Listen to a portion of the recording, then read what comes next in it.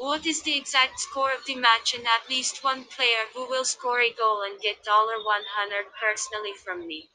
Leave the answers in the comments. Subscribing to the channel and liking the video are also required.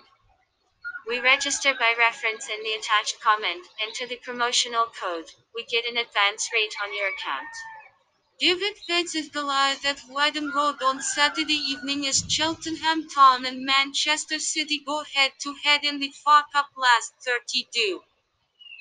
The Robins defeated Mansfield Town in the previous round, but they will have a mountain to climb against Pep Guardiola's troops. The citizens have been in a splendid form of late, with the team winning each of their last eight games in all competitions.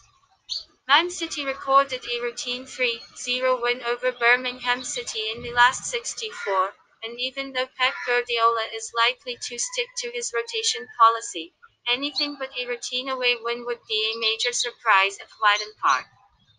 The likes of Cancelo, Foden, Mahrez, and Torres are pushing for a start, while Sergio Aguero remains quarantined. Anyhow, the star-studded Premier League side should make it to the last 16 without any difficulties. This match will be played on 23/01/2021 at 2030. Prediction 0 3